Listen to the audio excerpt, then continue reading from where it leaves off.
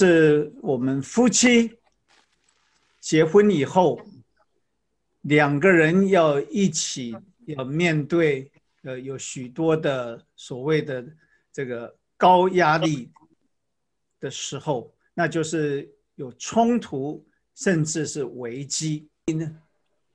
婚姻的生活里面一定有许多的压力。亚比该跟拿巴他们这对夫妻。就是记载着大卫差他的仆人来向他们要要求呃一些经济上的资助啊一些食物，因为他说他们在那里也是保护了这个拿巴他的仆人，他们在那里牧羊，所以呃从一方面呢，他是来好像来要一些要求一些保护费。可是拿巴却把这一个，啊，这个这个人家来要保护费的事情，把它立刻把它升级，然后成为一个呃，这个甚至就骂他，骂那个仆人说：“你的主人是谁？我怎么没有听过他的名字？现在有许多的人没有主人，他们逃这个这个仆人逃这个这个。”逃离他们的主人，呃，他大概也是这样的，所以这样子讽刺的话，就仆人就回到大卫那里，哦，大卫也是立刻听到，也就是说，我要把这个人宰了，这个人算怎么样子？啊，我们看见这个亚比该，他却是，呃，他立刻就把。知道这件事情严重，亚比该他是有这个智慧哦。夫妻如何来一起来面对这个高压力，尤其在冲突或者是在危机啊，甚至呢，呃，在这个我们的现在所谓的日常的生活里面，呃，并不一定是一定是要车祸，或者是有病痛。也不一定是这个家中有一个残疾，我我我讲到残疾的时候，我真的是也是很真的是佩服啊，这一个也是常常看到啊，这个这个弟兄姐妹们家里面也有这一个呃，不是说这个呃，他们有这个自闭症的孩子，完全就已经呃，是不是能够跟别人一样？我心中的的的确，或许是因为是做医生，我比较知道或者比较了解。可是没有一个家庭，嗯，我我我所知道的是，呃，他真的是好像是那种童话书里面，嗯，没有这个这一个没有问题的，或者是没有 stressed，尤其在这个疫情里面。教会里面的有失业的，呃，有这一个呃不能这个缴房租的，那我们或许我们会觉得，呃，我们是在这一个所谓的这种，呃，这种，呃，这个中产阶级，或者是我们都是在这做工程师的，没有这个问题。可是，其实我们并不代表那个所谓的啊这一般的人。所以夫妻如何面对这种冲突还有危机？啊，除了这一些以外，我们还更多有的是所谓的家庭里面的人际的危机，啊，这个跟这个老板的不和，跟自己的弟兄姐妹们啊不和，我就常常想到这这个中国的那一句话：这个本是同根生，相煎，为什么？这个太极哈，嫌太极，这个是，这是这个是许多事情都不是这个能够钱能够解决的，反而是那些钱不能解决的，呃，造成的是我们夫妻中的那种压力。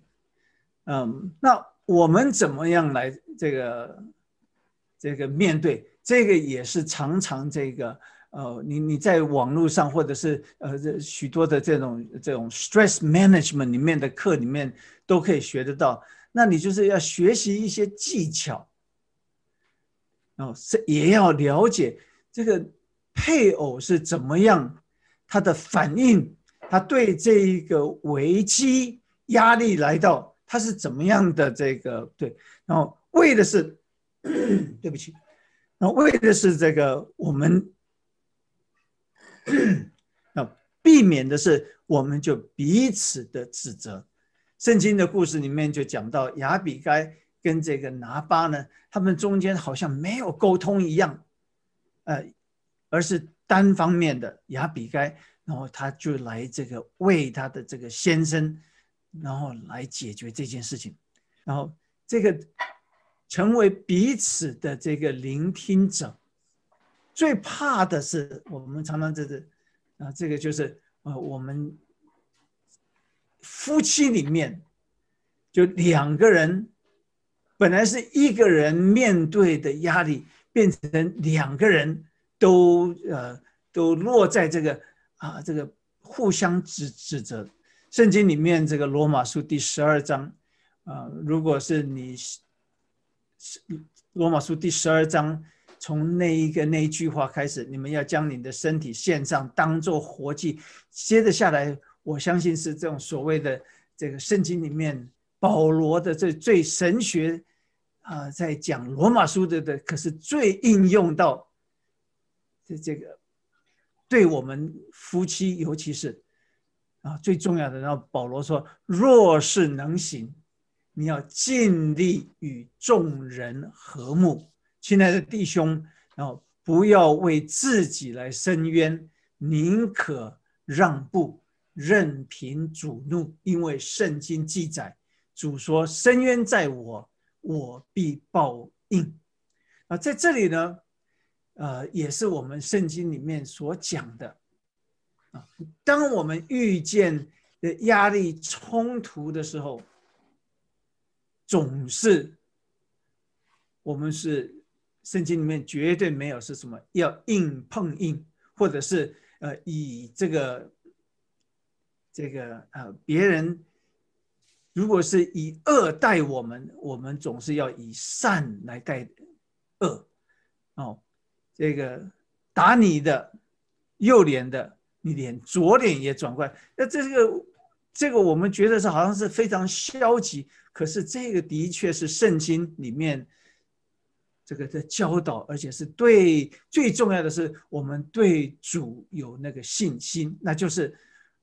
神是替我们伸冤，我可以先让步，我让神的公义来在我让步，然后让神来为我解决。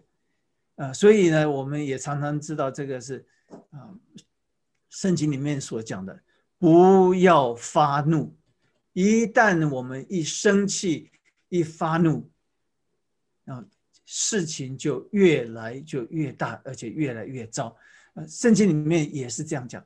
我这个夫妻一起在面对危机或者是争执的时候，那我们就是彼此的，呃，不火上加油，冷静分析。然后这个，嗯，夫妻的确啊，这个我也是看过很多，嗯，嗯。这个彼此的这一个，嗯，真的是，呃，没有冷静，反而是你怎么不这样做？你这样子，呃，是个懦夫，啊，或者是我，呃，这这，反而是事情越来越这个，就好像那火上就加油，呃，呃，我也常常就是在从这个辅导了教会里面的这个弟兄姐妹们一直看到。呃，真的是如此。嗯，要重要的那就是我们是所谓的要换位这个思考，尝试的在于我们的这种对方的角度来思考，而不是只就这种一味的只呃来责怪。嗯嗯，我也从这个经验里面的话讲，配偶跟这种朋友的意见，呃，是有这种局限性。呃，我我的意思是说，他们能够帮助，可是许多时候都不能很客观的。呃，尤其是在这个所谓夫妻有这个问题的时候，呃，这种这个呃教会的弟兄姐妹们所给的意见，也常常会有采取会选边，所以我常常也是这个呃，就也是这所谓的这种呃呃，这我也很赞同，呃，夫妻有着别扭啦，或者是闹到一个地方，呃。是可以找牧师或者师母，或者是呃来，可是这些恐怕都是需要有一些比较专业的啊，能够能够保持中立的，然后来给一些意见。呃，尤其是在这个所谓的呃牵涉到的啊这个呃家庭的呃这个亲戚的问题，或者是这一个婆媳的问题，然后呃朋友们。给的常常都是不是能够客观，呃，最重要的那对我们基督徒对的，那就是交托仰望神，那也就是回来就是，那我们若是可能，那我们是求这个是和睦相处，然后自己能够来一种吃亏的，因为主耶稣平静风浪。就好像保罗他说说，我的恩典是够你用，我的能力在人的软弱上显得完全。这句也是我们常常用在啊套在口里面。可是当发事情放在发生在我们身上的时候，我们是不是有那像主耶稣他说的？那在约翰福音里面他说：“我留下的平安给你们，我将我的平安赐给你们。”我所赐的不像世人所赐的，你们心中不要忧愁，不要胆怯。的确没有错。包括我自己在那里面，呃呃约伯记里面，啊很少讲到这个他的妻子。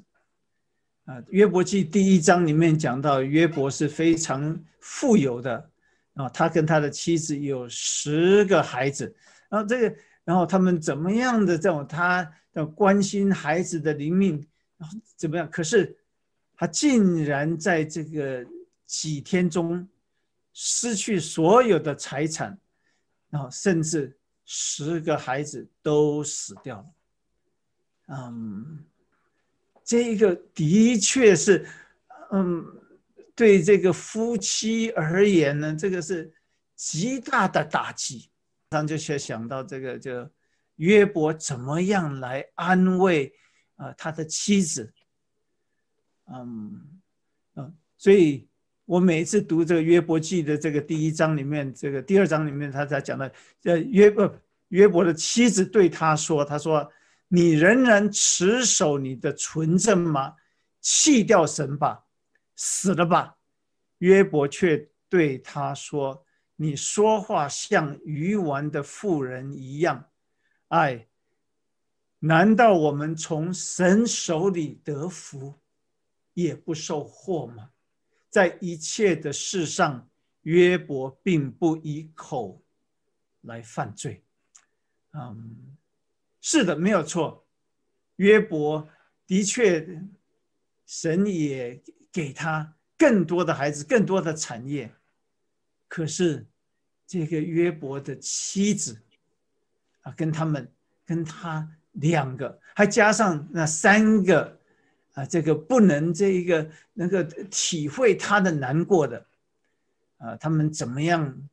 这个约伯度过这一个，啊，这这个难处。撒旦攻击约伯，那他一定要让约伯受尽所有的痛苦，把他所有心爱的都拿走了，所以他的孩子，他的财产。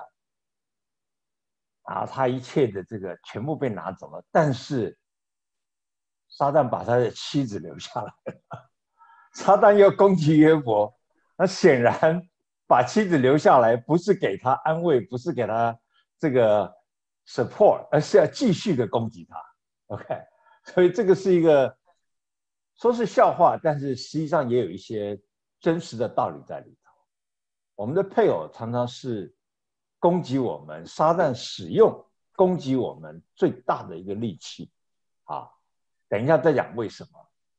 那后来情形改变了，神要进来掌控了，撒旦离开了，所以神也使用他的配偶重新祝福约伯。所以我们的配偶可以是撒旦的工具，也可以是神的工具。所以，我们每一个丈夫妻子，我们要问问自己：我们对我们的配偶是一个撒旦的工具，还是一个神的工具？我们到底是撒旦的仆人，还是神的仆人？那我们当中婚姻里面一个很算是一个危机的话，就是怎么跟另外的啊？多两位的家人一起生活，然后各样的方式啊啊，从一个屋檐下各样的啊，很多的沟通啊、态度啊都很不一样。所以呢，在里面除了我们平常很忙碌的工作、服饰跟教养孩子以外，啊，我自己所经历到的啊最大的压力就是怎么啊。家里面怎么去处理这样的另外的一些的啊啊相处，所以我们也很感恩，在这二十五年当中，神大大的啊做他奇妙的工作。我们孩子也看到，在这样的一个环境里面，很多的恩典可以数算啊。另外也有很多的挑战，怎么来建立我们的品格？所以我们呃学会怎么去夫妻一起来面对。确实是不容易。我们可能在生活当中遇到的危机是挑，或者是挑战，都是有一个间歇性，就是可能有一段时间。可是如果家里有个特殊的孩子，他可能每一天都要去面对这个这些的挑战，我觉得这个是非常非常非常不容易的。嗯，我的课堂当中也有些这样的呃父母亲哈。那我觉我是觉得就是真的神。啊，神是给了他们格外的一些的挑战，可是我也看到很多父母因为这样呢，神也给了他们格外的一些恩典，帮他们度过这些年日。我也看到我一个姐妹家的孩子，呃，老大是个自闭症，现在已经三十几岁了，依然像个十几岁的孩子一样，一页一页的把家里面都扔得乱七八糟。他每天早上起来第一件事就是收，三十多年如一日，就是在做这件事情。他们。嗯，真是不容易。但是这个姐妹特别的开朗，总是录一段视频，她跳舞的，她唱歌的，她就是说这个日子要怎么样的，怎么样的过哈。我是她也是个主内的姐妹，那她也有一个小群体，跟一群妈妈组织起来，怎么样苦中作乐。我想，我想这个也是那，所以我就嗯，我就是也认识这样的姐妹，然后她带一群体的妈妈一起来共度他们，他们比较特殊的一些的难关。那我觉得我自己呢，就是如果回回答那个李牧师提的这个问题，我想我们的夫妻关系，我们也结婚二十年，危机一定是有了。那我觉得对我来说最最大的一个危机，就是我们夫妻之间那个七年的时候，就是看对方绝对的就觉得没有办法再生活下去。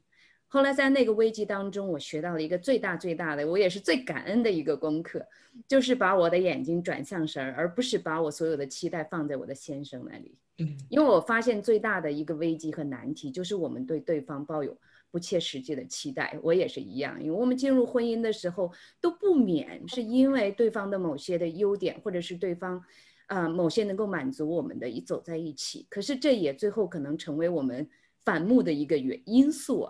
所以，嗯，我自己学到，但是从那个时候开始，我就开始学习，就是说不把我的期待寄托在这个软弱的人身上，反而我我开始就是在这个情感上也好，在独立上也好，在对人性的理解、罪的理解上，我都更加的成熟了。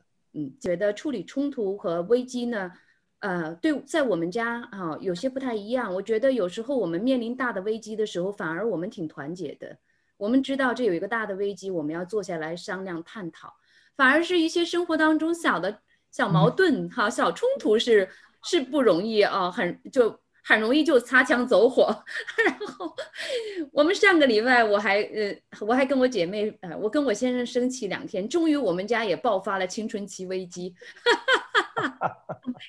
然后我一说的时候，我旁边说：“哎，你是青少年。”父母教育教育的专家，我专家就不踩雷吗？也一样的。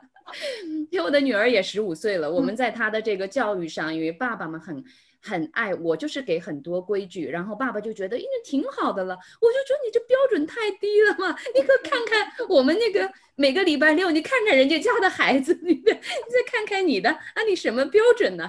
哎，我们也是哈，就是说生活当中很多小的这些的冲突，那其实这些冲突，我想。早就埋在那儿了，只是可能有一些事情把这些冲突埋在心里的很多东西，对对方的不满激发出来而已。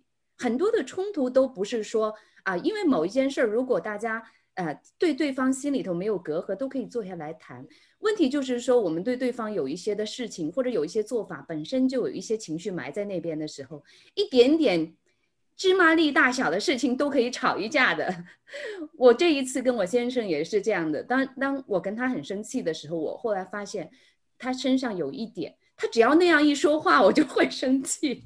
但之前我都是 我都是会祷告哈，因为我先生是一个很内敛的人。那他呢，比比如说他不太会跟我直面冲突，不管你是生气了或者表达你的情绪，他就是回避。然后不看，那我就觉得，哎，你这个为什么不面对这个问题呢？哈，我我我要跟你谈一谈，他就没什么好谈的呀，这么简单的事情。那他也知道我的个性，比如说我生气了，我祷告，过一会儿，因为不能含怒到日落嘛，对不对？所以呢，我就会主动主动跟他分享说，哎，今天我心里有什么，我也祷告了，神也跟我，呃，我也跟神，呃，又反正不管怎么样，我就是在主面前倾诉了这个我的难题。那他呢，就发现。哦，没关系，只要他生气啊，祷告就好了。所以他都不理我。那这一次我真的是挺生气的。那他还是嬉皮笑脸的没理我呢，我真的有点难过，我觉得有点失望哈。啊，然后我就两天都没理他。我第一天晚上特别挣扎，不能含怒到日落，但是我就想，那不不生气了，我就。很很就是装作不生气的样子，就我心里我就在主面前放下，我就说不管对他有什么，不能含怒到日落。可是到第二天早晨，他又用那个态度说话的时候，我又生气了。我只想跟大家呃分享的是说，其实最大的挑战哈，后来我发现一件事情，就是最大的挑战就是我期待他可以问问我，你到底为什么事情生气？我是有期待，这是我最大的挑战。我已经祷告了，可还是我，我还是觉得我们需要去面对这个问题，所以，呃，我跟他后来，我就实在第二天他还不又到天黑了，我就说，哎，你就不能问问我为什么不高兴了吗？什么原因嘛？然后他说，那你什么原因呢？哎呦，我就很生气，我说你一定要等我说这句话你才问吗？你说有时候家里面就是这样哈。